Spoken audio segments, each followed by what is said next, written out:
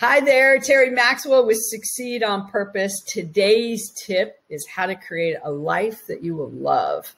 Step one is to get clarity. That means to discover who you are and what you're meant to do. Of course, I've been doing this program since 2009 when I first found my own purpose and got clear. And I've been teaching this now for over 12 years.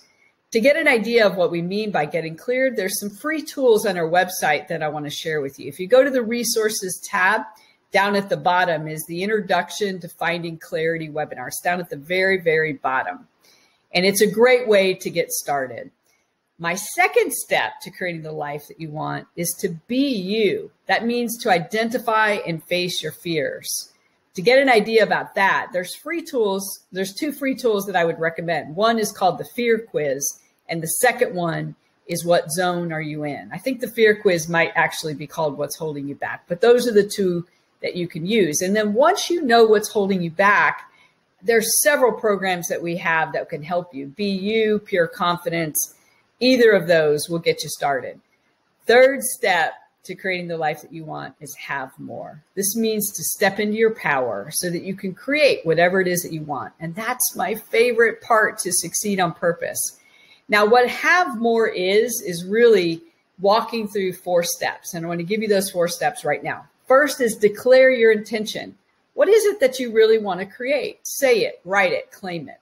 When I started Succeed on Purpose, I took a bold step and said, I will succeed on purpose and I'll teach others to do it as well.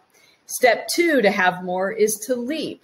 Don't just talk about it, commit to doing something, really commit to moving forward. And that brings us to step three, which is to take inspired action. Once you commit, if you pay attention, you'll feel what I call inspired action start to well up in you. These are actions that you'll want to take because they'll move you towards what it is you set that intention for. Finally, step four is being grateful for everything. And I'm so committed to that that I actually got the word grateful tattooed on my arm. I don't know if you can see that there, but that's the word grateful.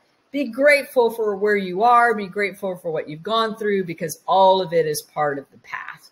Now, if you've ever heard my story, you know that I had a very, very difficult and impoverished childhood. And in my um, middle years, around um, sixth to eighth grade, my grandfather taught me a lesson. And that lesson is you get what you focus on.